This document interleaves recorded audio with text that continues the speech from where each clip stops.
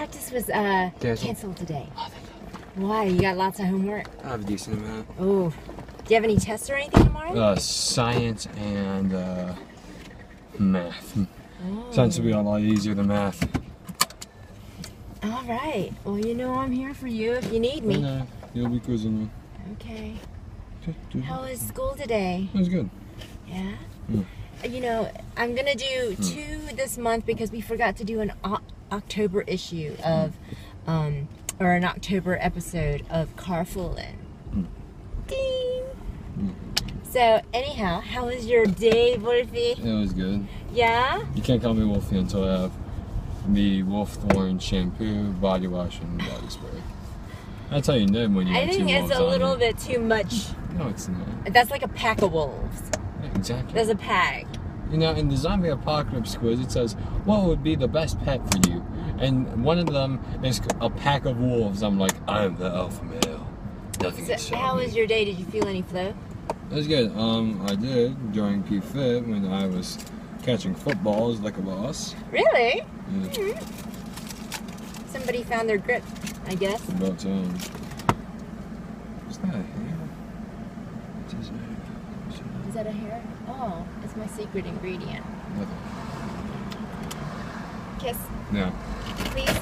you literally just said a hair. Uh, But it was my secret ingredient. That's what makes it taste so good. Why are you drinking my water?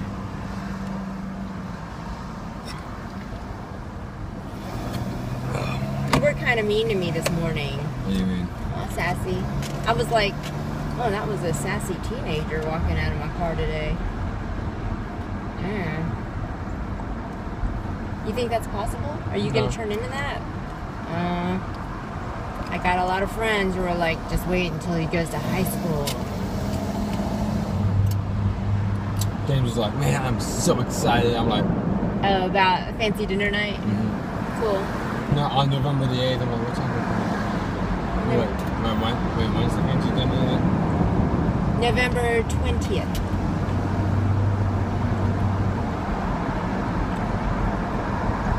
Man, can't wait for November 20th. And see, you never told me the date. And like, what's on November 20th? Did you forget your birthday? No, because I, was like, I was like, dude, what's on November 20th? My birthday is the 21st. And he's like, yeah, you was down. Yeah, I'd have to agree with him. so, okay, so you felt some flow mm-hmm. when you were catching footballs in P-Fit mm-hmm. because football is like your sport. I was feeling some flow today, but dude, my day did not start well. This morning I took Oki on walk, and you see how misty it is today and kind of rainy. And you know how slick our um, sidewalks are in our neighborhood? Well, we did the loop de loop in the neighborhood and I was coming down off of the, um, you know, the Matheson cul-de-sac. Yeah. It dips down and then it comes back up before it comes through. Yeah.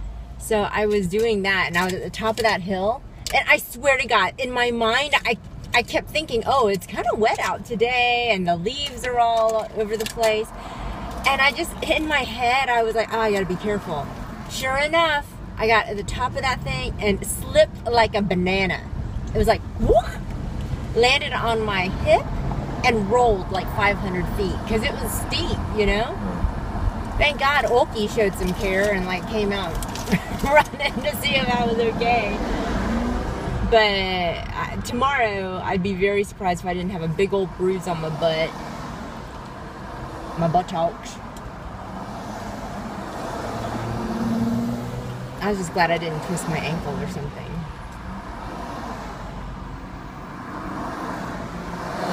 How's your salmon wrap? Good. Good. Oh, I got an assessment from uh, Coach. Did you see the email? I believe so. Yeah.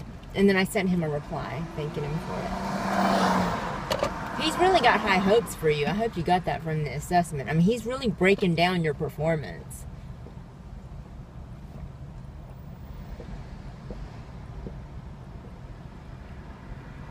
I told him you were pretty excited about pitching this weekend. Did you tell him what you told me? You're like, I think I got a good one, maybe two innings in me, mom. No. Listen, one thing that is your strength is you know yourself And if you don't feel confident or you don't feel like mm, you've got it, then that's it. But let me tell you something. If you're like one, two, three, three up, three down, three up, three down, uh, try and squeeze in a third inning. That'd be great.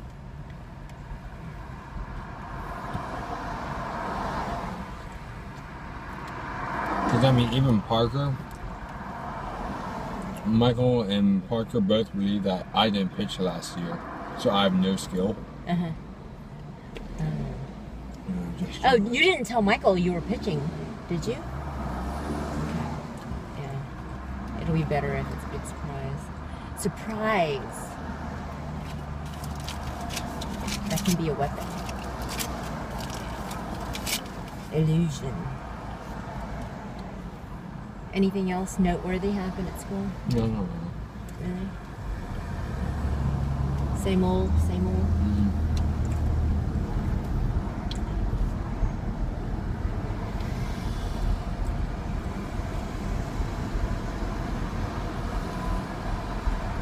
Did you think at all about what we were talking about earlier about, you know, how you're gonna act when people Oh, say we got a quiz today Oh, on the amendments.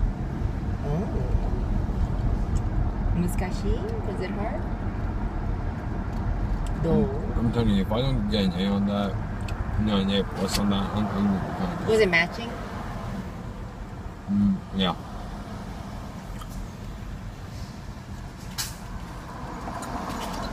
I hope you did. It was the easiest message I've ever made. Cross my fingers for you. There's I'm watching the cutest K drama called She Was Pretty. It's what about do you mean by was? Uh, because here's the thing. You got to see it. It's so funny because it starts off with these two little kids. Uh, okay no it starts off with um, these girls. They're roommates. They're grown. And one of the roommates is kind uh, like gorgeous you know really cute Mhm. always fashionable. And the other girl is like frizzy hair no makeup wears old stuff all the time, you know. But that they've been lifelong friends forever. And um but the unattractive roommate when she was younger, she her parents had a nice business and she had everything. And then and she was very cute, very popular, very smart and all the boys liked her. Then she hit puberty and it all went downhill. okay, so now fast forward to adulthood. So now they're adults and they're hanging out. Well, she gets this email from this uh, old friend of hers. He turned out to be her first love back when she was cute and pretty, right? A little student. Well, at that time, that kid that was her first love was um, it's called Chasarang. Chasarang. Okay, it he was like the new kid in town at her school and he was really fat. He had like curly hair wore giant glasses and So a nerd. yeah so he was kind of called fatty and stuff like that and bullied but she liked him you know? Anyhow because of her he was he, he kind of got through because he didn't have a mom. His mom died in a car accident so, anyhow, now they're adults. Well, that kid went to America to study and then has come back for a job. He is emailing her and he's like, hey, listen, I'm coming back into the country. I'd love to see you again. And she's in her mind thinking, oh, it's my it's my first love, fatty guy, Mm. right? So they say they're gonna meet at this fountain. Well, they get to the fountain and she's like, hey, I'm. And he's like, hey, I'm here. And they're both looking. And he's looking for like a really cute girl. And she's looking for fatty guy. In fact, she like is like going up to fatty guys that are there by the. Hey, are you so and so? And he's like, no, I'm not, dude. Leave me alone, crazy lady. And um, so then she realizes who it is. And he turns out to be like this fit K-pop star, all chiseled, kind of good-looking guy, right? Uh. Shitty guy, shitty man. Nerd. Okay, I think I just saw food just fly off your lap. Mm, sure. I was wondering how you lost a chicken wing in Dad's car the other day. Okay, please don't step on like a grape and mash it into my carpet. It's not. I didn't. But anyhow, so she, what she does is she rushes and call, contacts her roommate, the really hot one, and she's like, "Girl, you need to get over here." And um, I'm in like a serious jam. So she gets her roommate to pretend to be her, Mm. and then she says, "Tell him that you're leaving tomorrow to go study in Britain or London." You know. And, and she's okay, and then she tells him the story, and they think it's over. But of course, it's a small town, and just uh, the drama ensues from there. But it's so cute. There's a guy on there who is part of um a k-pop group called uh, super junior. And his name is Choi Siwon and um he reminds me so much of you. In fact i'll show you some pictures of him. But he's a guy at the ugly girls workplace. But he's super funny But I was just thinking, you know, you never know. You never know who's going to be the ugly duckling. And he's going to turn around and turn into a pumpkin. What'd you do for lunch today? Yeah, pizza. Pizza? Was it good? Mm. Mm. I can't even believe that. I thought there was no such thing as bad pizza. Oh no. This is called But school Did pizza. you take kindergarten? Do you know how puzzle pieces work? Oh shoot. Wow, I'm worried about this algebra test.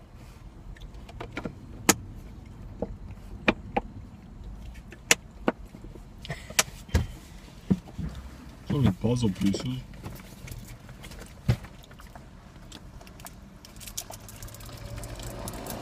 I hope you've been checking your uniform pants and making sure that the ones with the big stains, after you wear them, you kind of pre-treat them before we wash them again. Mm-hmm. The more you wash things with stains in them, the harder it is to get that stain out. Oh, how was men's choir? Are you doing any ensemble practice? Fall concert's coming up in like a month, right? No. It's Hmm? this weekend. What? Uh-uh. Uh-uh. Oh, I know. It's next weekend. My bad. Oh, shit. It's next weekend, my bad. This is why somebody needs a calendar. It's next weekend. No. Mm. Mm-mm. Yeah, they moved it up a month. Mm. Mm-hmm. Is there going to be a fall concert and a Christmas concert, or is this just going to be the one shebang? This is the one shebang. Really? Yeah, because Ensemble only has three more practices. Thursday, Tuesday, Thursday. so, then in a week, I'm going to hear Christmas songs. what's our fall concert? I want to say Christmas songs. Well, there has to be a Christmas concert then. No. Knowing our class, we can't learn songs that fast. Ensemble might have one, but Hmm. Why do you think you were catching balls so well today? I don't know. You don't know. I'm really worried, Chase. You've been such a really good kid all your life. I just, well, there was that little blip at the beginning of seventh grade. But other than that, you've been a really good kid. And I'm just worried that at some point a switch is going to go off and you're going to turn into a sassy teenager who's saying bad words, misogynistic words. So uh, let me uh, be honest with me. Alright. Did you think at all about what we talked about this morning? What did we talk about this morning? You know, when you hear things in the company of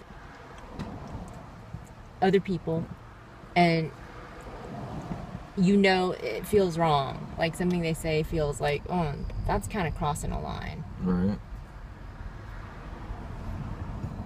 I mean, how you act. I mean, yeah, I probably just, just Like, if you could do it all over again that night, then I'd be like, yeah. then what would you say? I'd be like, dude, Okay. cut it out. Okay, so let's say, you know what, so and so, your girlfriend's a. It wouldn't be bleeped out, mom. I'm just bleeping it so that, you know, No, because they need to be breathing out. I don't. I don't want to offend anyone. are we really doing this G we doing this PG rated? hmm Ho ho ho. Okay. Hey, bro, cut it out, alright? Cut what out, Chase? They're calling someone, so and so's girlfriend a beat. What's it to you? Why are you getting involved? You guys were a team, and the team should stand up for each other rather than going against each other.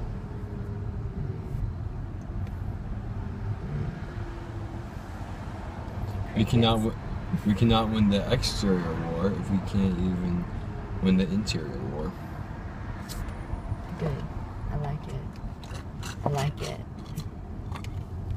Okay. I feel like you're better prepared now. Because guess what? I'll bet you'll hear something like that again. Even if it's not about something like that. But if there's something that when you're in the company of people, mixed company, and there are women there or girls, and you hear something that you think is something that you wouldn't want to be said about your mother, your sister cousins, you know, or your future daughter, if you have one, then it's perfectly honorable for you to say, you know what, that's not cool. You know?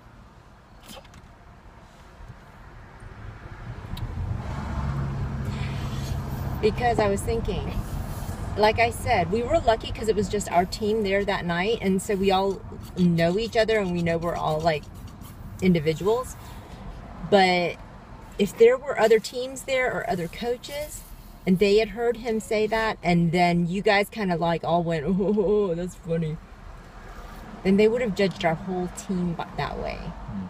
But just to have one kid come out of the mass and just say, "Dude, that's not cool," then you would be telling those people, "Hey, everybody on that team doesn't think like that." Hmm. At least they've got one good one. You know? hmm And it's not a taint on the team, it's not a taint on Coach Vic, and it's not a taint on you. I don't like it. It's weird. I'm like, do you think it okay, here's here's my other question. Do you think it's possible for a person and let's just keep it in middle school, high school. Do you think it's possible for uh, somebody to say misogynistic things now that we know that word hmm Without knowing it, um and still be a good person maybe. If you has a good defense to back it up, then yeah, I'd probably say. like what would be a defense for saying something like that I mean, it depends on what he says. mm, let's say anything like whore slut bitch any of those words All right, let's take for instance whore slash slut. If you do that, then you would also have to have you would have to have proof or evidence that she was going around and let's say high school for this, sleeping with other guys. Then yeah, he has he has a basic right to say that. Plus also the First Amendment defends that. yeah but what if it's just his opinion i mean how, how do you know unless You get a third you know who and who who's uh whose right is it to decide oh well she just slept with one guy. She sleeps with no guys. Oh she slept with five guys. And then does the same standard hold for boys? Like is there a whore for men? Yeah. what, what's that term? I don't know. point taken. I don't know, mom. Kabang this is what i'm saying Let's go to McDonald's get some chicken nuggets so I can dip some of that really hot ghost pepper chili sauce on it. Maybe some good dinner right there. Let's go home and have a good home cooked meal. Yeah. We're having pasta and sausage. Oh yeah? Arr. Uh-huh. Is Jay gonna be there? Dad's always there. He's retired. sausage. Alright, then alright, then That's Dad's only thing to do. Alright, then I guess we'll be eating the sausage with ghost pepper chili sauce. Yes. Pro- oh, you know what? You should ask Dad because Daddy was like, "What kind of uh, sauce are we putting on the pasta?" And I was just gonna do garlic butter, but if you want to use ghost chili, No, ghost chili pepper on the entire pasta is gonna kill us. you want to do like a little side dish Yeah. of, to dip the sausages, maybe. Yeah, Oh, that's that's a great idea. That's a great idea. Cause you You're don't so know. good, you don't- Wolfie. You're Okay. so good, Wolfie. Alright, no, you can't call me Wolfie again because I don't have the shampoo. Uh, so you're body so foxy? Spray. Are you No- foxy? No, because Are you trying to do like an Old Spice ad so that maybe they'll send you some freebies? yes, I am. He's just a boy. Hey, I'm just saying. I'm just saying, Wolfthorn and Timber are both really good, great Old Spices. And so if I if, the if you get Timber body wash and spray, then should I call you Woody? No. no, it literally says on the wall. On If I did, then I could say I have a Woody. No. that makes it sound like that thing I found that you call back massager. I don't know what you're talking about. Your purple back massager. It Mhm. vibrates and goes like this. Yeah, it really gets those deep, deep knots out. Sometimes when I'm like, you know, editing videos. Oh.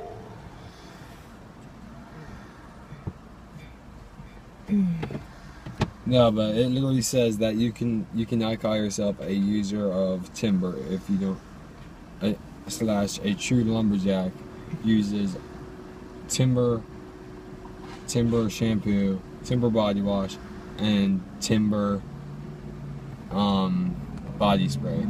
And it's the same thing with Wolfthorn. Mm. You cannot call yourself an alpha male if you don't have the Wolfthorn. Hmm. Complete Wolfthorn set. And I'd love to have a complete Wolfthorn set. Because I'm nearly out of shampoo. Do you want people to see you coming or to smell you coming? Smell me coming. Okay, wrong.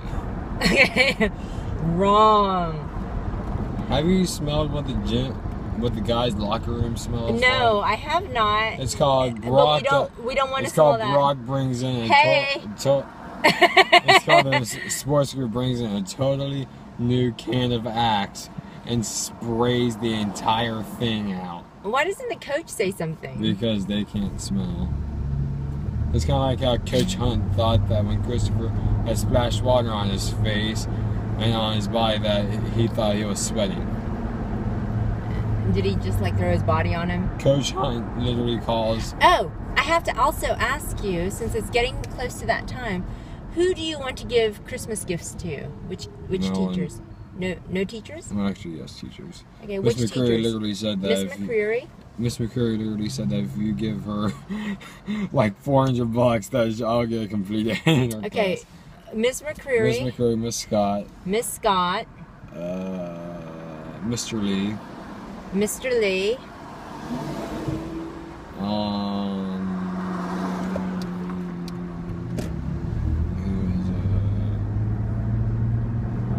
who is, is that all my teachers? Well, let's think about it. Uh, oh, Mr. Prince? No, no, I'm not counting him as one of my teachers. I'll say Mr. Dietz. You'd rather give Mr. Dietz a gift Yeah. instead of Mr. Prince a gift? Why not give them both gifts? They were both my teachers.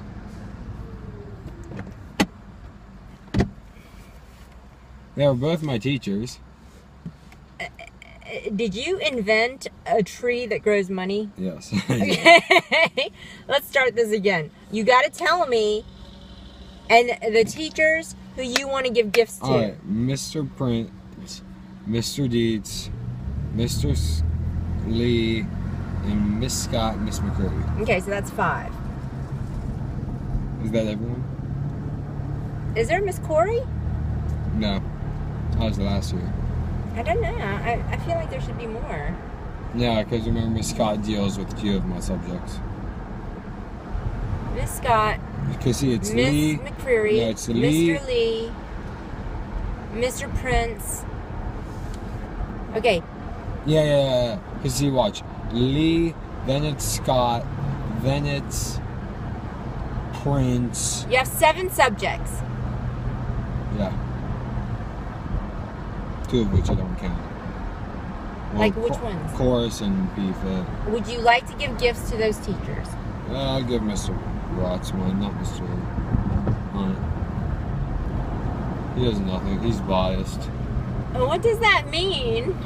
As in, he. So you don't want to give anything to Mr. Coach Hunt. no. Okay, so Mr. Just go- Rotz. just Okay, so then what I'll do is I'll give Coach Hunt's gift to Mr. Dietz. Why? Coach Hunt literally is like this. Alright, um. So you don't feel like he gives you anything, like he doesn't teach you anything. He's not. The things he's taught me. Well, I look taller than you. What? My yoga. You know what? Since we're not going to um, baseball today, let's work on your plank, and let me see how strong. Let me see how strong your chaturanga is. Yeah, look. I am taller than you. Adjusted the seat like a dental chair. I saw that.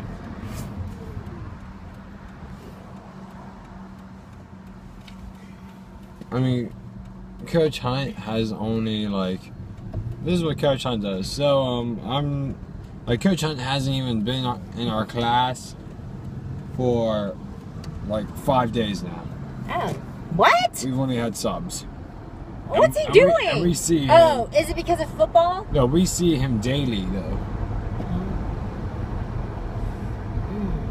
Okay. Michael DeBose is actually wondering. Michael DeBose is actually just seeing if I should go play wrestling. Could you wrestling. Okay.